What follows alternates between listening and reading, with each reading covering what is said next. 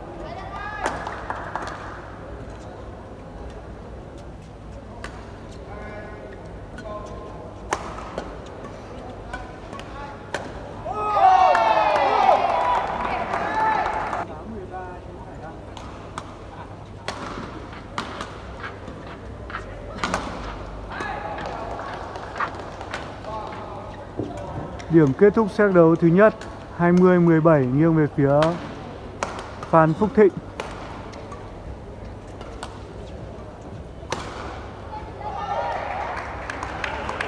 Trọng tài xác định cầu trong sân. 18-20 cho Nguyễn Tiến Tuấn. Dài đến set đấu thứ ba rồi.